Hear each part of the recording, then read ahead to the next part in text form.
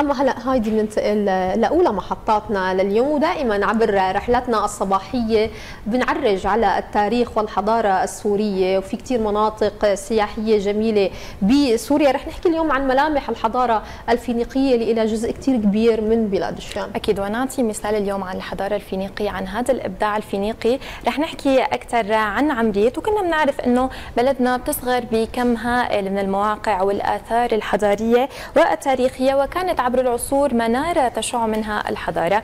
رح نروح نحن وأنتم مشاهدينا لنحكي عن جولة سياحية وتاريخية على عمديت وحكاية أول ملعب مع الباحث والدليل السياحي الأستاذ عبد الرزاق حمسي يسعد صباحك أستاذ. صباح الخير. أهلا وسهلا بحضرتك.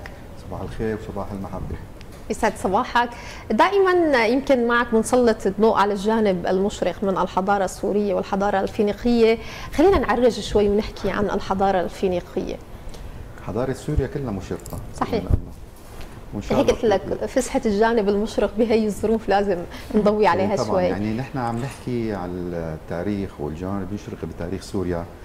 لأنه كمان الحرب على سوريا هي حرب ثقافية.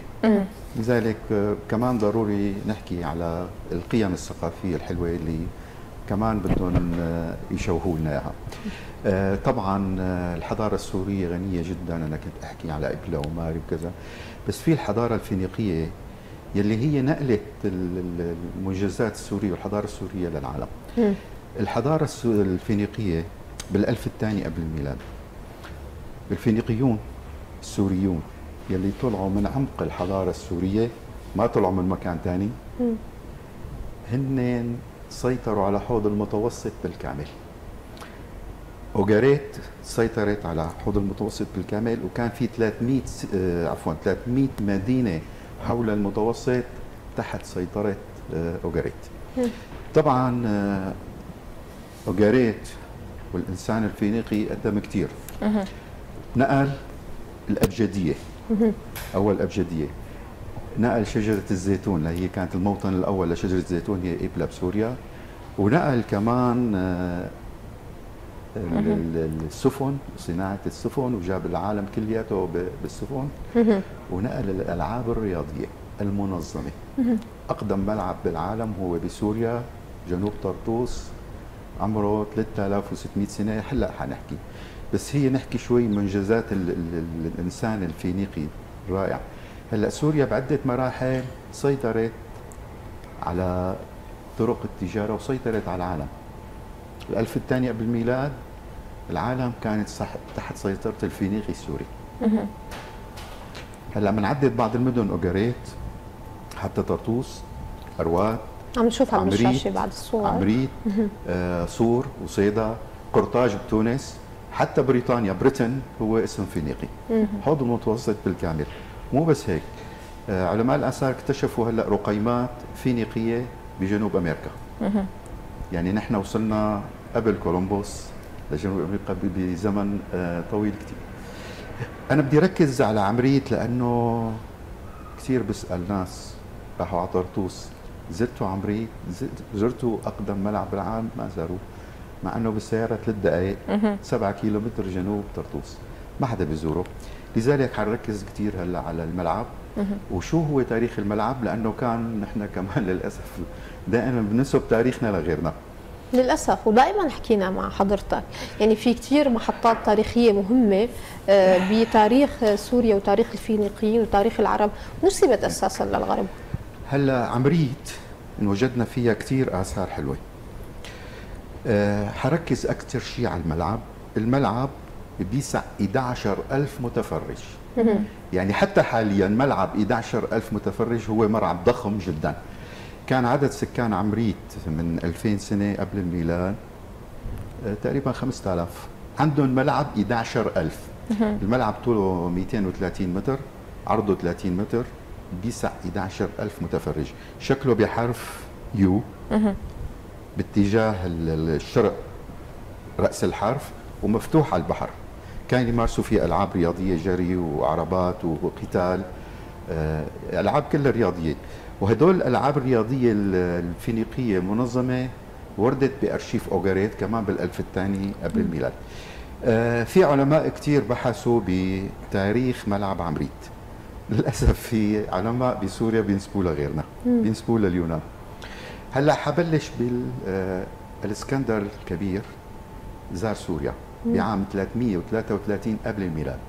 وزار عمريت قال لهم هي المدينة متكاملة أعجب فيها كثير قال لهم ما بتقربوا عليها نهائيا. هلا عمريت هي أكثر مدينة ظلت على قيد الحياة من المدن الفينيقية. يعني استمرت حتى للعهد الروماني للقرن الثالث بعد الميلاد. يعني من الألف الثاني للقرن الثالث بعد الميلاد لذلك كانت متكاملة. لم يوجد بعمريت أي بناء روماني أو يوناني. هلا حشوف بعض العلماء آه، العالم البريطاني بانكوك قال هذا الملعب فينيقي. زكية حنا دكتورة زكية حنا سورية قالت هذا عمره 3600 سنة. آه، رينيان فرنسي أكد أنه هذا الملعب فينيقي لأنه ما وجدنا أي شيء روماني أو يوناني. عفيف بهنسي القامة الكبيرة كمان أكد أنه فينيقي. كثير هلأ أنا بورد آه، عملت بزمان وثائقي لتلفزيون بريطاني وعمل وثائقي للتلفزيونات السورية. أثبتنا إنه هذا الملعب فينيقي وعمره 3600 سنة. يعني حاجة حاجة كثير يعني أنا بيطلع هلأ من فترة. باحد التلفزيونات الوطنية. طلع واحد قال إجوا ناس من الجنوب عمروه كثير يعني. في تضليل صحيح. كثير كثير صحيح. هدول ما بعرف. نكمل. آه هذا الملعب كثير رائع كثير رائع. مقطوع من الحجر. مم. يعني في إعجاز حتى في تلة قطعوها. صحيح. قطعوها من الحجر. يعني شيء آه، كمان إعجاز ببنائه. كيف قطعوا الحجر بهذاك الوقت من 4000 سنة. قطعوه هيك من الحجر ومدرجات. ورد هلا عم يورد آه، بعض اللقطات عن صحيح. ملعب آه، عمريت. عمريت على فكرة الاسم هو عمريت من عمارة أو عامرة لأنه كان العمارة اللي فيها. نهضة هلأ في كثير بيحكوا بأسماء عمريت بس هي عمريت. وبعدين عمريت وردت بوثائق مصرية رماتوس ووردت بوثائق آشورية ووردت بوثائق فينيقية.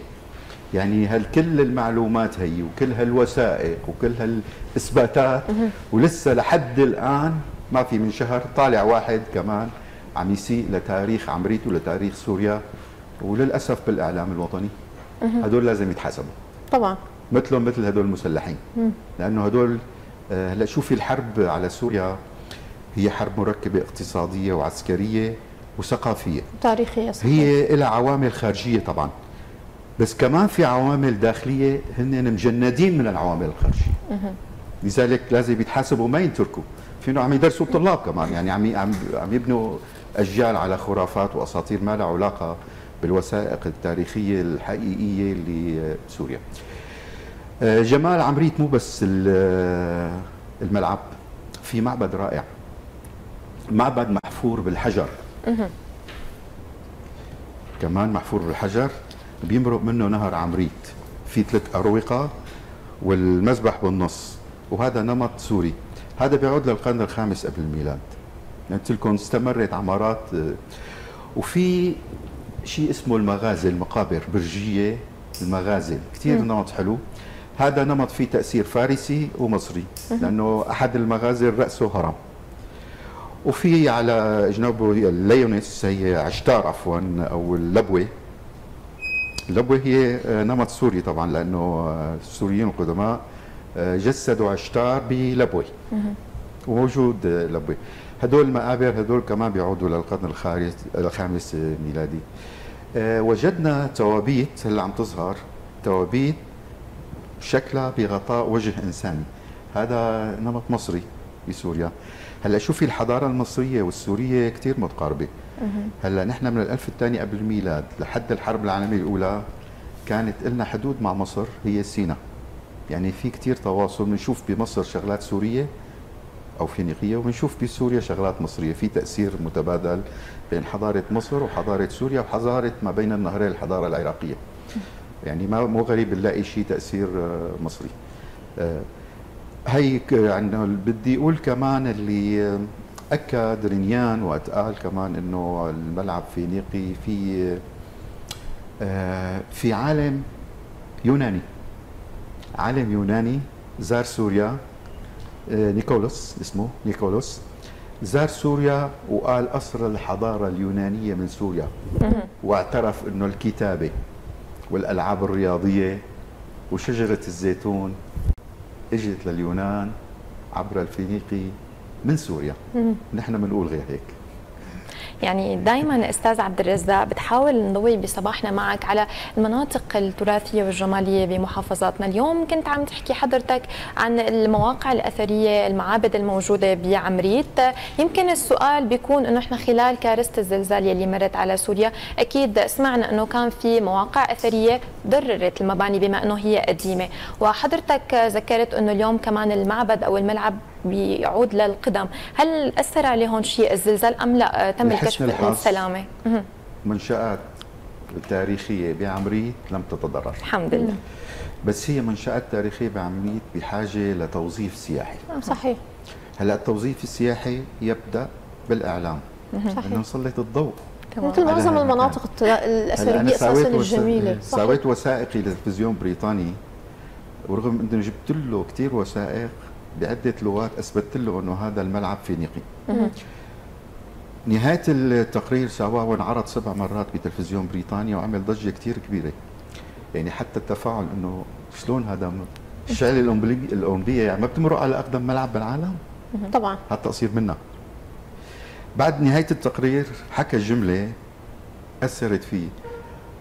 بعد ما مدح الملعب وصفاته واللي كنت عم بحكيها هلأ قال look it's forgotten يعني منسي. صح. هلا كثير بتطلع في أعشاب ما بيقوموا بعدين ما في لوحات دلالة.